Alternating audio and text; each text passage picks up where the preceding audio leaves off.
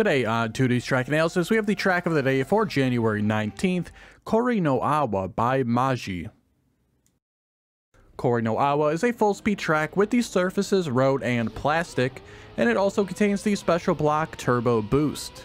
As far as the difficulty, I found the track to be on par with an average track of the day track, though I found one section to be quite strange and hard to drive consistently.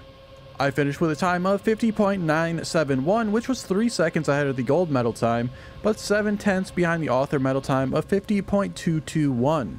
Overall, I didn't really enjoy the track. The first half is okay with a few small turns and one long speed slide. After that, I felt the wall rides with plastic exits felt awkward, found one full section that overall just didn't feel good to drive, and there was a questionable checkpoint placement mid-wall ride and overall bad standing respawns. So on the plus minus rating scale, I give Kori no Awa a minus rating. For the analysis today, we'll be comparing my best lap with the world record at the time, who was Vixa.WP with a 48.395. So there's not going to be a huge difference at the start, but the world record does take a better inside line there, so they do pull ahead a little bit pretty much even at the first checkpoint as far as speed goes, but here for this upcoming jump, we both get a pretty bouncy landing, but the world record does get a little less bounce, so they pull ahead a little bit.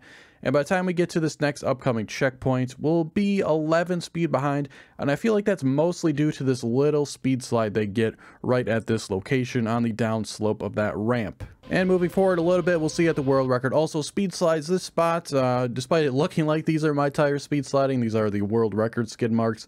But yeah, I do not uh, get this speed slide going down to the right here. And after this section, I do pull off a pretty nice speed slide through this long turn here and end up being at this checkpoint still only 11 speeds behind, so staying even with the world record here. But upon landing on the other side, don't get the best speed slide on this part, and into this jump here, we can see the world record and I taking slightly different lines, with the world record taking a much lower approach and to the left-hand side of that jump as well. This different entrance and a very sloppy exit from myself results in us being 42 speed behind at this checkpoint right here. So overall during that section we lost 31 extra speed. For this next wall ride though, me and the world record take pretty similar lines until the exit where you can see the world record takes a higher line here. For this exit and the previous exit, you really want to be up as high as you can and take more of a downward angle approach. Here I am kind of sideways and on the plastic landing that'll cause you to keep sliding sideways and give you a poor exit onto the road. And you see this exit here makes me slide to the right hand side a little bit and my back tires start sliding out here, causing me to lose even more speed. At this upcoming checkpoint, the black half circle there, I will lose another 18 speed and now we're 60 speed behind.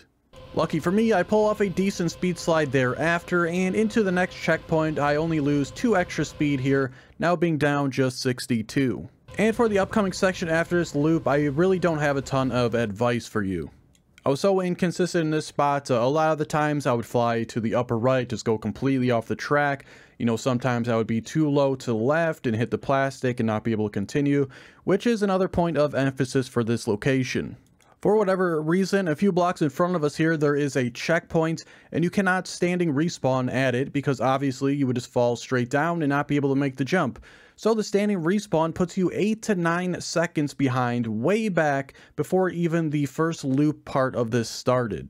And then if you get back to this spot and you mess up again, well guess what, you're another 8 to 9 seconds behind yet again. It's really just a disastrous checkpoint placement and one that really just doesn't belong.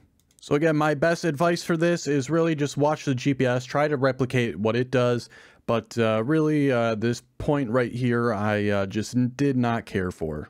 Even with a completely different exit than the world record, we really don't lose anything else besides this last speed slide right here, which takes the world record a little further ahead.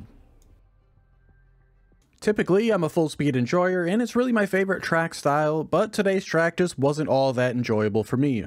I can't imagine anyone who had to use a standing respawn found this track all that enjoyable either, as most of them felt like a last second addition with not much thought on them. Walls and very sharp turns right in front of them, and others putting you extremely far behind due to bad placement of the respawn itself or bad checkpoint locations. I know if I had to use them more often, I would have definitely given the track a worse rating.